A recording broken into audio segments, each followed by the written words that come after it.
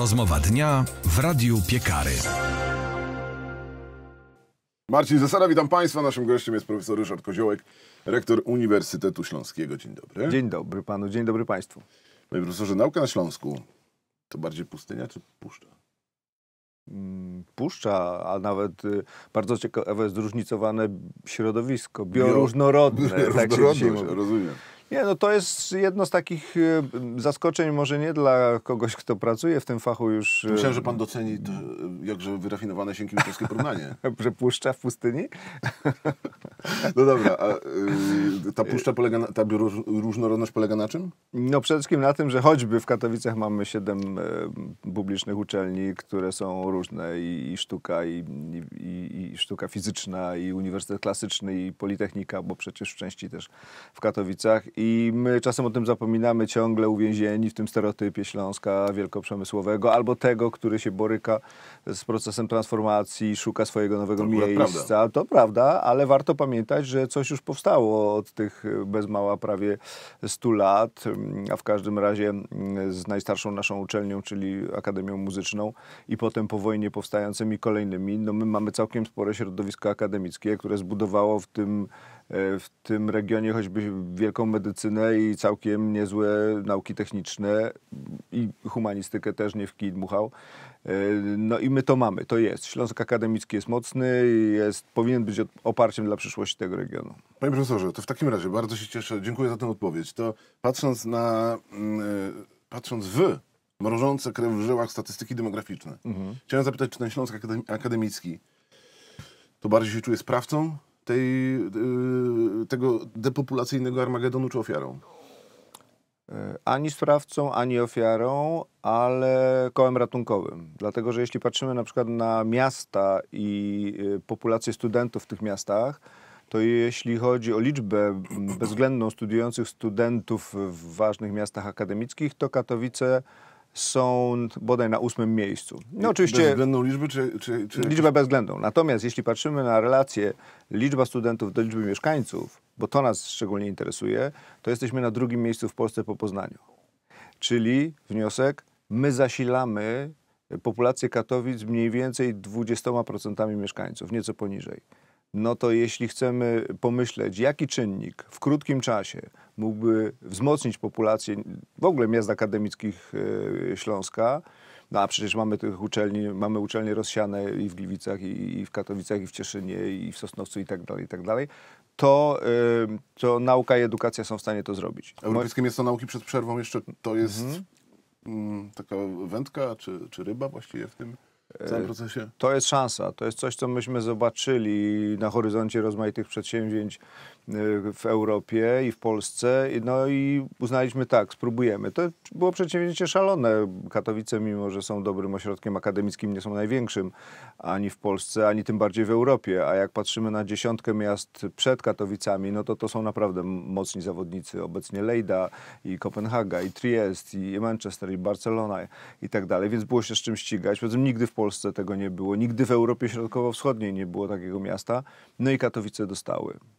Profesor Ryszard Koziołek, rektor Uniwersytetu Śląskiego jest z nami. Dogrywka w sieci już za sekundę. Dziękuję bardzo. Do usłyszenia. Do zobaczenia.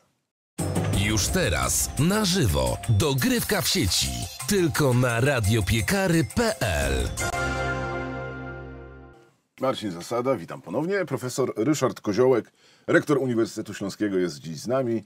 Po raz drugi Państwa i Pana witamy. Panie Witam profesorze, e, Europejskie Miasto Nauki Katowice. E, mówił Pan o tym, e, że to pierwszy raz, Mhm. w, nie tylko w Polsce, ale w Europie Środkowo-Wschodniej Tak. mniej więcej. Tak. A to w e, Krakowie nie żartowali jeszcze, że. Miastem nauki się albo jest, albo, albo nie? Na pewno, na pewno. E, Niektórzy ważni rektorzy mówią na przykład, że w, em, w Polsce liczą się tylko dwa uniwersytety, najlepszy i najstarszy. najlepszy to oczywiście Uniwersytet Warszawski.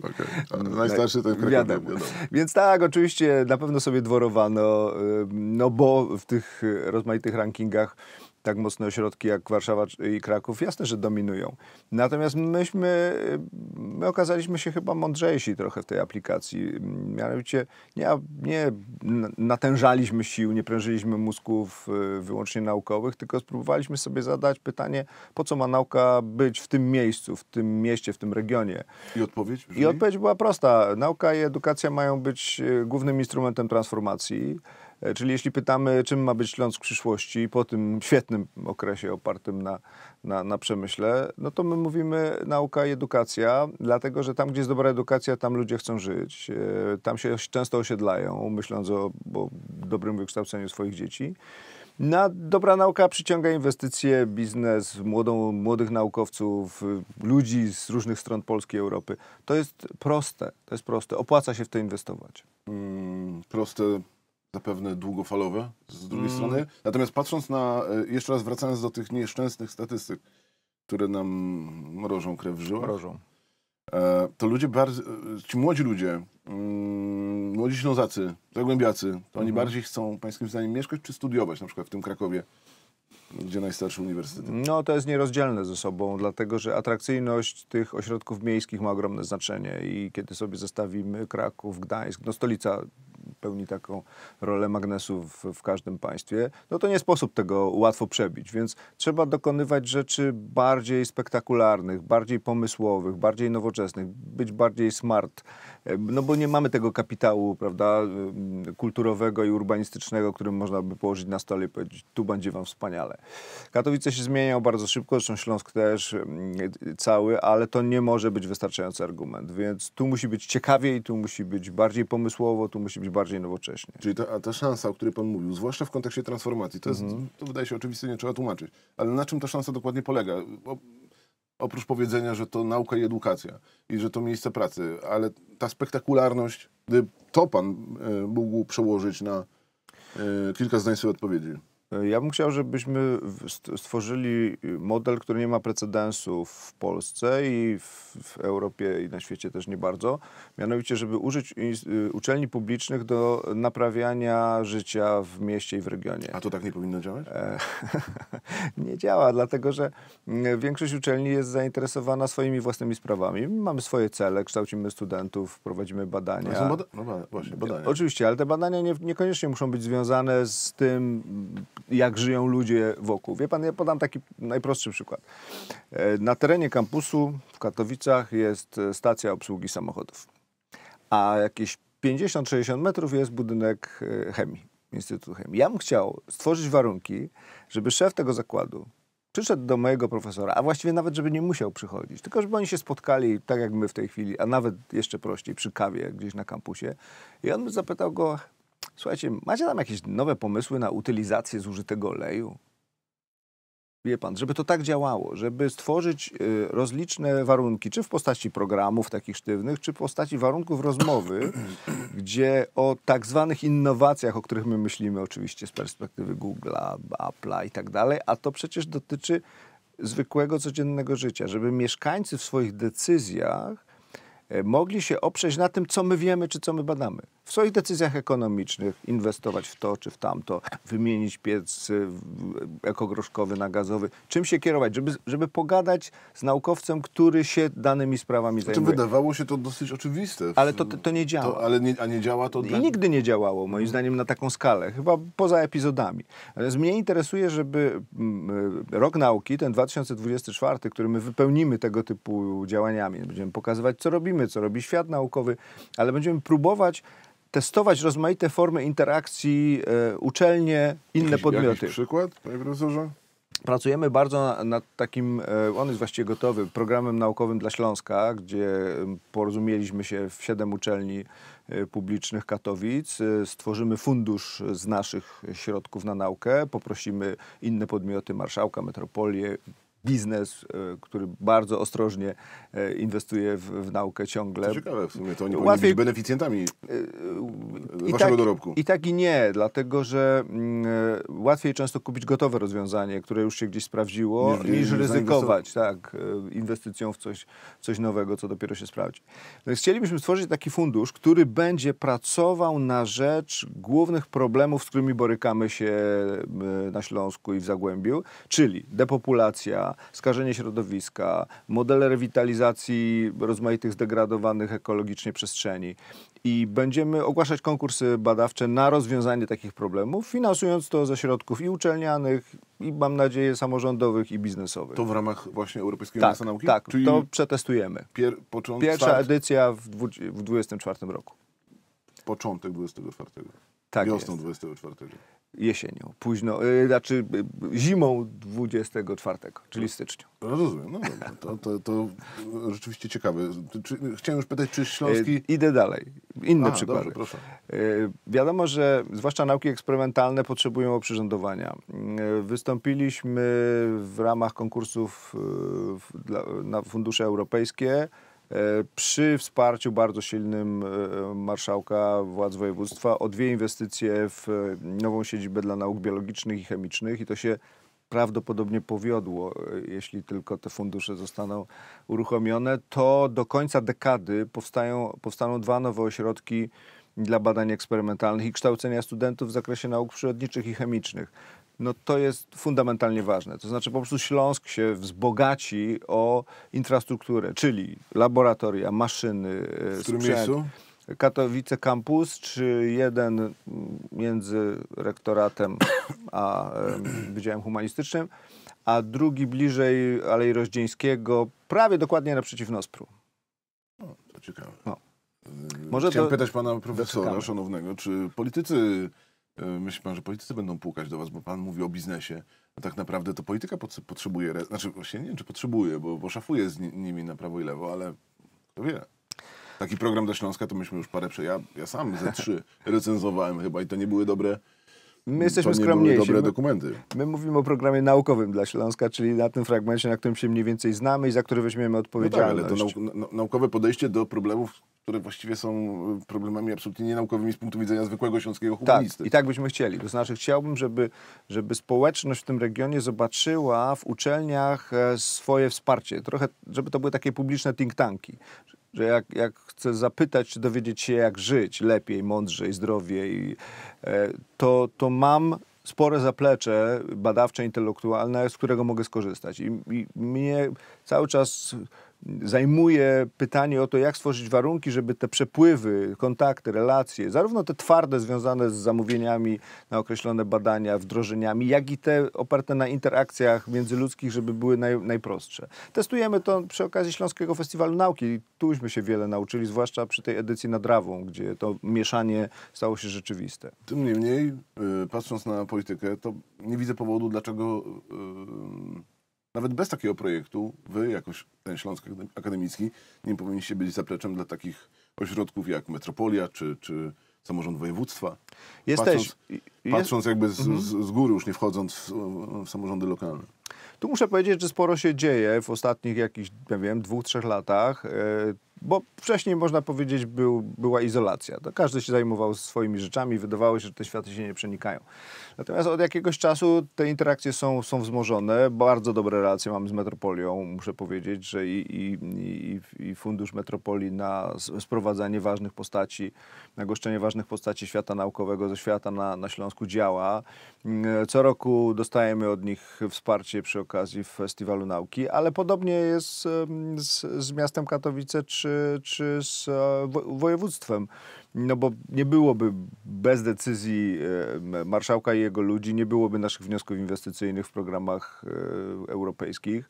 Mm, No i teraz deklaracja mm, podjęta wspólnie, co mnie mocno zdziwiło, ale też przyjemnie zaskoczyło, obu stron sceny, naszej regionalnej sceny Jednogłośnie w politycznej Sejmiku? jednogłośnie w Sejmiku. No Muszę pan- powiedzieć, że to było coś. To, Proszę, nauka łączy.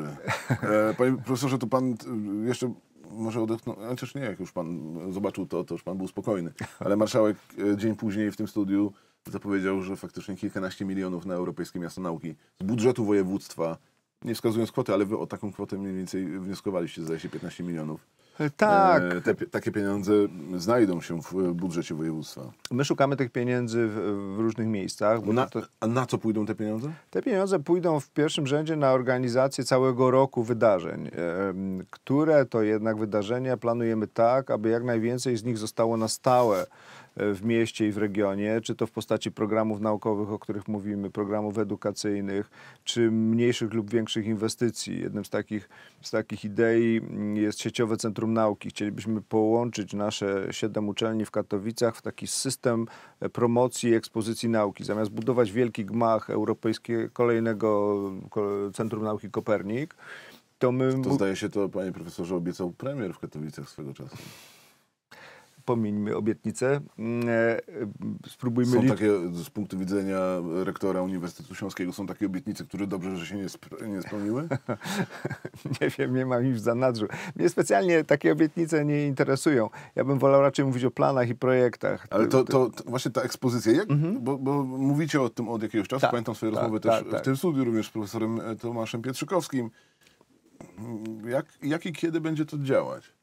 To może działać właściwie już od y, przyszłego roku, ponieważ to na początek nie wymaga wielkich inwestycji. Wystarczy, że zbudujemy program y, wydarzeń i program zwiedzania między naszymi uczelniami, a w nich wyeksponujemy to, co może być interesujące dla mieszkańców po prostu.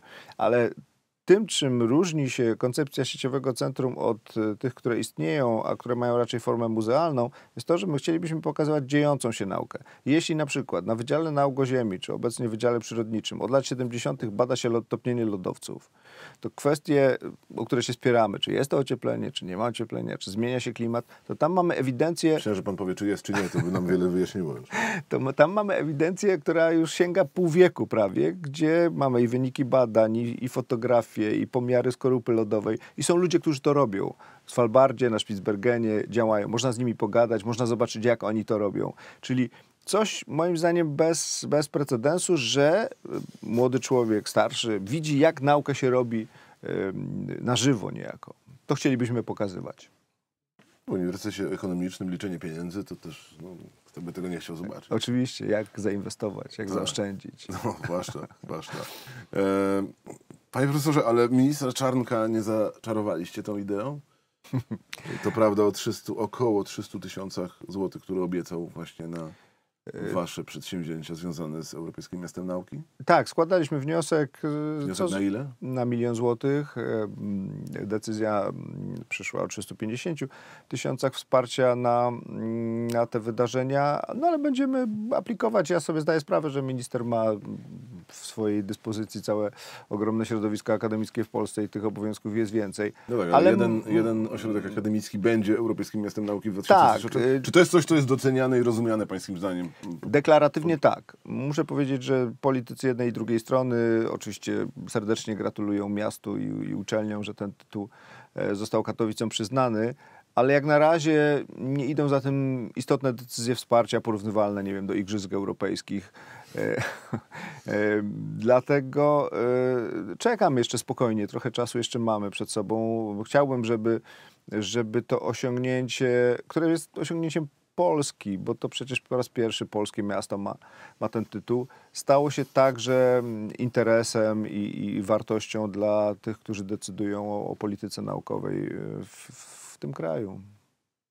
Mm, patrząc tak jeszcze mm, e, e, z góry na, na to, co będziecie robić, będziecie próbować robić, to tak jest trochę bardziej taka sprawa wizerunkowa, coś, co zostanie może potem. Taka właśnie wizerunkowa, popularyzatorska, uświadamiająca też.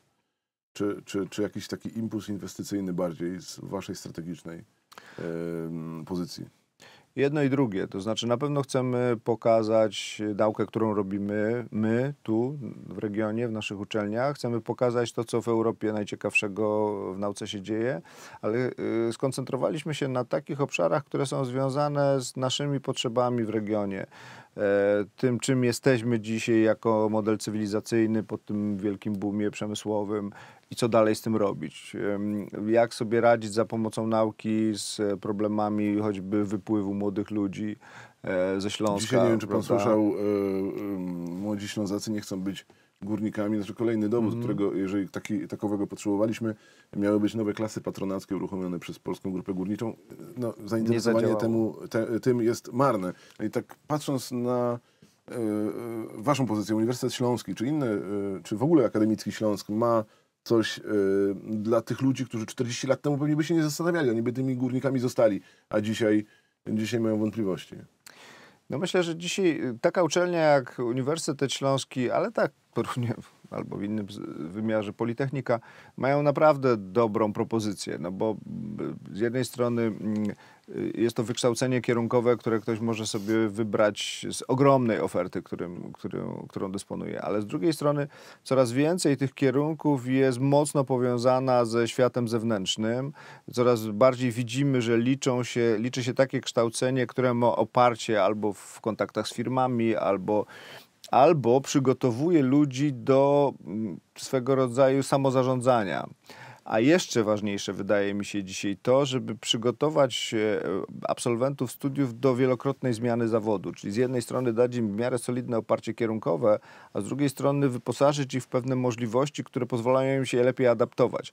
E, obaj wiemy, że wykształcenie kierunkowe rzadko jest realizowane jeden do jeden, tak jak tak jak sobie wymyśliliśmy na studiach, czy przed pójściem na studia. No, w humani- humanistycznych kierunkach to w ogóle chyba nie o to chodzi do końca. Prawda? Raczej jakiś krytyczny aparat Oczywiście. podejścia do, do, do świata. Tak? Tu chodzi raczej o danie takiego wiedzowego i kompetencyjnego oprzyrządowania człowieka do tego, żeby on sobie mógł w tej wielorakiej rzeczywistości radzić. Ale jest jeszcze mm, taki aspekt, którego my się trochę boimy y, mm, wypowiadać, ponieważ bardzo tak zracjonalizowaliśmy studiowanie. Studiowanie powinno być też przygodą ciekawości. E, a my spróbujemy z tego uszyć taki kombinezon zawodowy. No I to, to nie wolno zapominać o tej praktycznej stronie wykształcenia, ale, ale studiowanie musi być oparte na, na popędzie, na, na, na chęci, na ciekawości, bo inaczej to jest zmarnowany czas. Pierwszy sygnał, że Katowice są europejskim miastem nauki, oprócz rozmów takich jak ta, to kiedy? Pierwszy tydzień grudnia 2023, Spodek, Wielka Gala Otwarcia. Mam nadzieję, że będzie spektakularnie, ciekawie i rozrywkowo i mądrze. I rozpoczniemy tym dniem e, Śląski Festiwal Nauki, który będzie wydarzeniem wprowadzającym do roku 2024. A potem 50 tygodni tematycznych, wielki program, tak żeby każdy w każdym tygodniu tego roku znalazł coś dla siebie przyjemnego i mądrego. naukowcy to będą mieli trochę roboty w tym, Mam nadzieję. W tym roku. Mam Jeszcze raz, panie profesorze, na koniec. Co trwałego zostanie pańskim zdaniem, realnie patrząc po, po, po tym przedsięwzięciu w Katowicach na Śląsku. Zostaną nowe inwestycje naukowe dla uczelni, które będą zachętą do studiowania na Śląsku, zwłaszcza w tych kierunkach, które są drogie, kosztowne, wymagające. To jest ta chemia. To jest ta chemia i biologia. Nie byłoby ich, gdyby nie tytuł. On wzmocnił naszą argumentację, on pokazał, że, że tu się coś dzieje, tu jest ambitne środowisko, że warto e, przekazać te środki. Zostaną programy naukowe, które mają służyć rozwiązywaniu problemów Śląska. E, programy naukowe, programy edukacyjne. Będzie instytucja jakoś Tak, instytucja międzyuczelnia, e, międzyuczelniana. Powstanie rada złożona z naukowców e, siedmiu uczelni. Mam nadzieję, że będziemy dopraszać także inne uczelnie. W końcu na Śląsku mamy też niepubliczne uczelnie, łącznie jest nas ponad 30, więc jest z czego korzystać. Takim naszym, takim naszym fokusowym Przedsięwzięciem jest próba rewitalizacji Rawy, opracowania koncepcji przekształcenia tego odcinka między rynkiem a Uniwersytetem Ekonomicznym w bulwary akademickie, ale w coś, co się nazywa laboratorium społecznym, gdzie właśnie będziemy testować te warunki wiedzy obywatelskiej, przenikania rozwiązań naukowych do życia społecznego, zarówno w tym wymiarze szerokim, jak i jednostkowym. Jeśli będzie chciał Pan się dowiedzieć, jak żyć, wpadnie Pan za, za 3-4 lata na drawę, usiądzie Pan w małym bistro i a tam... Panie profesorze, ja bym to już nawet dzisiaj przyszedł, gdyby była okazja. I nie tylko ja, myślę.